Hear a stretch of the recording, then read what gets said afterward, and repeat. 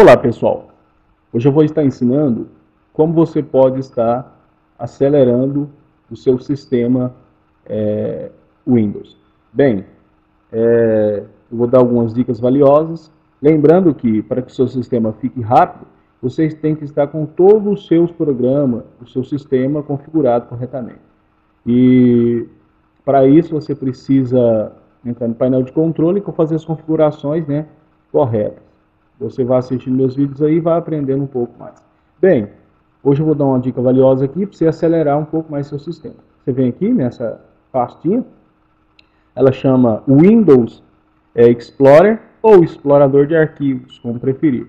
Então você clica nela, aqui você encontra várias coisas. Nós vamos aqui no computador, né?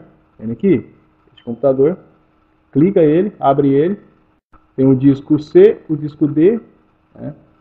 Tá. Você tem que fazer isso nos dois discos. Vou fazer no, nesse aqui, ó, no D, porque tem menos arquivo, tá vendo? Menos arquivo, então vai ser mais rápido, só para fazer demonstração.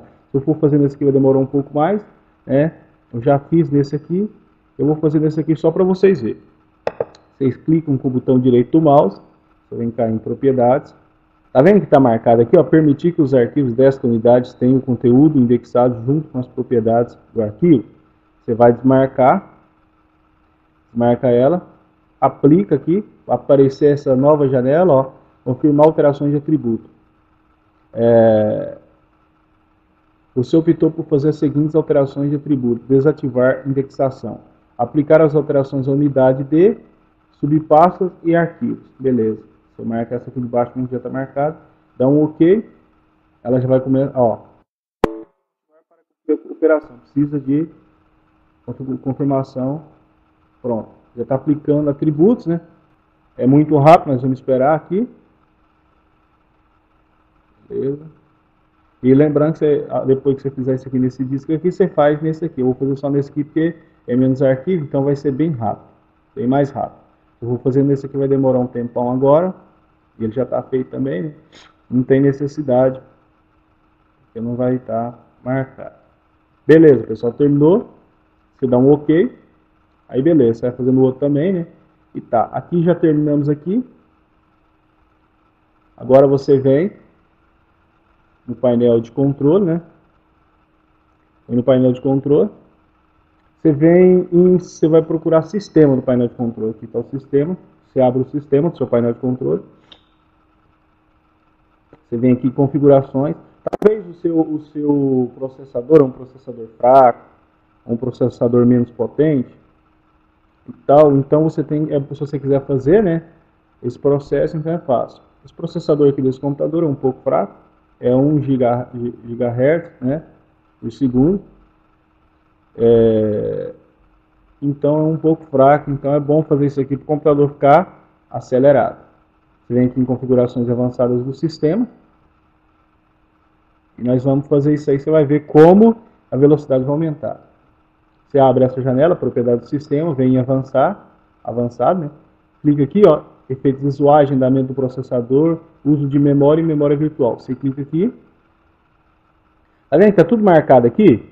Ó, selecione as configurações que você desejar usar para a aparência e o desempenho do Windows neste computador. Tá tudo marcado aqui, porque é marcada a primeira, né? Deixar o Windows escolher a melhor opção para o computador. Né? Bem marcada essa aqui. Se você quiser ajustar para melhorar é, uma melhor aparência, você clica nesse bar. Se você ajustar para obter um melhor desempenho, então você clica aqui, ó. Vai desmarcar todinho aqui automaticamente. Você coloca em aplicar, está aplicando, você dá o OK, fechou. Perfeito, dá o OK aqui. Pronto. Se você não preocupar com aparência, não estiver preocupado com aparência, então, você vai ver que ao fazer isso, o seu sistema vai melhorar 100%. Né? Se você não estiver preocupado com, com aparência, tal, que às vezes vai ficar um pouquinho diferente, tal, mas vai aumentar drasticamente a sua velocidade do seu computador. Né? Então, você pode estar vendo aqui a resolução de vídeo também.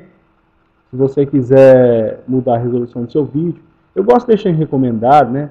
Eu acho melhor. Se você quiser diminuir para aumentar mais ainda a velocidade, você vem cá, e diminuir um pouco, né?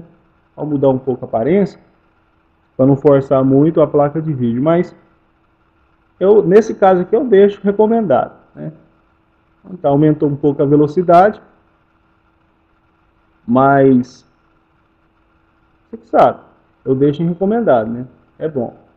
Então, pessoal, você vai perceber que a velocidade do seu sistema aumenta é, significativamente. Então, aí você vai poder né, navegar com mais rapidez nos seus programas, acessar melhor e tal. Só não preocupar muito com a aparência, que modifica um pouquinho né, e tal. A velocidade, o que conta, né? Se for a velocidade que conta para você nesse caso.